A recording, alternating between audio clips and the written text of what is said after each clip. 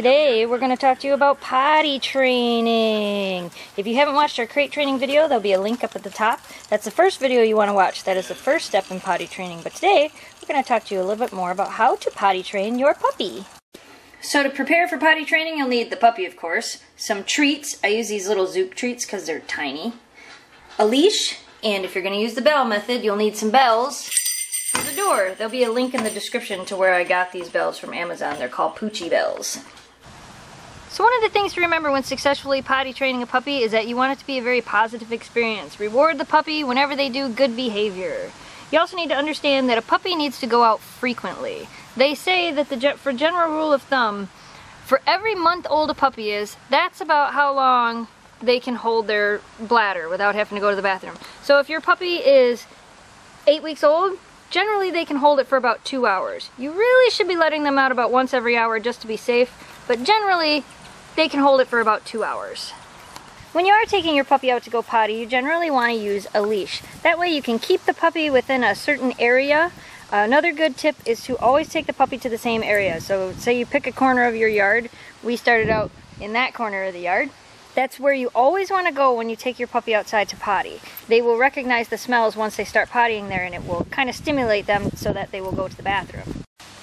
Potty time with a puppy will generally last anywhere from 10 to 20 minutes. You want to give them ample amount of time to both pee and poop so that they don't do number one outside and number two back inside the house. And as soon as they're done going to the bathroom, you want to immediately take them back into the house. You want them to associate potty time and playtime as two different things. So you can go back in the house after they're done going to the bathroom, go back inside for 10, 20 minutes or so, then come back, back outside for playtime. While outside trying to get your dog to go to the bathroom, we always say, you know, go potty, go potty.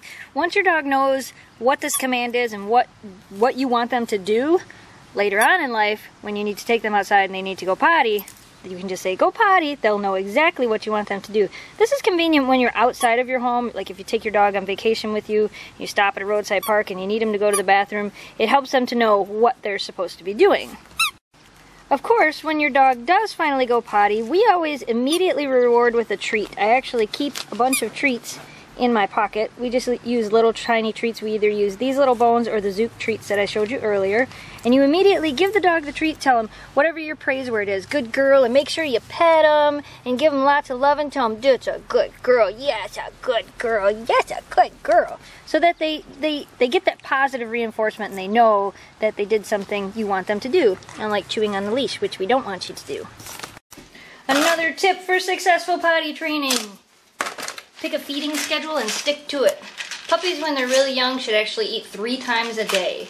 Uh, so once early in the morning, once, usually I do mid-afternoon, and then once in the evening. Uh, no later than like 6 o'clock, because you don't want them to be going to the bathroom after you go to bed.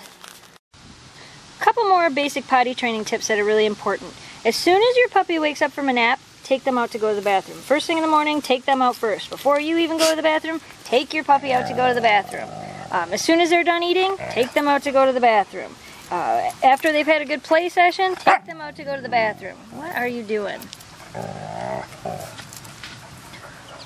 While you're at home, it's best to keep the pet in the same room as you and actually keep them confined to that room. In our house, we have the baby gate, so when we're in you know, if we're in the living room, we keep the puppy in the living room with us. If we're in the kitchen, we keep her in the kitchen with us. That way we can keep an eye on her. You can kind of watch for for signs of them needing to go to the bathroom. A lot of times they'll sniff and circle multiple times. It's usually a pretty good sign that they need to go outside really fast. Now, a lot of you have been asking me about the bells. How do I use the bells to get the dog to go outside? Well, every time we want to take Memphis outside to go potty, Memphis is over there right now. We come up to the door and we go, you want to go potty? And we ring the bell. She was just outside, so we'll see if I can get her to do it. Right here. So we'll ask her if she wants to go outside. We'll see if we can get her to ring the bell. Come on, ring the bell. Ring the bell. Good girl. And then we open the door and we go outside. There you go. And she knows that every time she rings that bell, we're going to get to go outside. It was dark down here, huh? So all you gotta say is, you wanna go potty? There's no bell on this door though. There's usually a bell on that door. and she'll ring the bell. And then when you're not around and she needs to go potty, she'll go ring the bell. Now if your dog does have an accident and you see it happen, I usually yell no, and then I'll pick the puppy out and take them directly outside. You don't really want to punish them, rub their nose in it, stuff like that doesn't actually work. Um, if you don't see it happen, there really is no point in punishing your dog because dogs live in the now and they're not really going to remember what they did wrong or why you're punishing them. So you need to catch them in the act. That is usually the most effective way to train them of what they're not supposed to be doing. At night, we usually wake up two to three times during the night if we don't hear her crying to actually let her outside. You really want to do this until they're about 16 weeks old. By then, they should be able to make it all night without issue, uh, without having any accidents, as long as you're letting them out right before you go to bed and first thing when you wake up in the morning. By the time they're 16 weeks old, they should be able to make it through the night.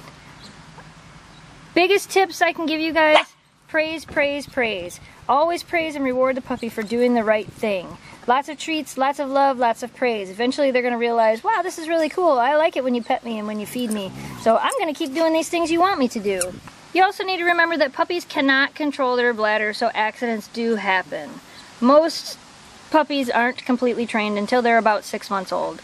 Uh, so you will have accidents from time to time. Just remember clean them up immediately. Use a good cleaner to make sure to clean everything up so the smell goes away so they don't continuously want to go potty there. This, there are many different ways to potty train a puppy, and you can Google how to potty train a puppy, and it's going to give you a whole bunch of different ways. I'm just telling you guys the way that we do it. Uh, some people paper train, some people do other things. This is just how we do it. So I hope some of these tips can help you guys in potty training your pets. And hopefully Memphis will be fully, fully potty trained really soon. Thanks for watching, you guys. Thanks for subscribing, and we will see you on Wednesday. You're kicking her butt, aren't you? Want to say hi to Oakley? Oakley! Oakley! Everybody wants to say hi to you! Oakley's like, but I'm over here looking for food. Silly girl. Really? Yes, I moved Memphis. She seems to like it better in here than in the bedroom. Lucy wants to know, how long did you wait after Shiloh passed away before you got her? Are you ringing the bell? Really? You need to go outside right now during Fan Friday? Okay. Uh, Shiloh passed away January 17th. We got Memphis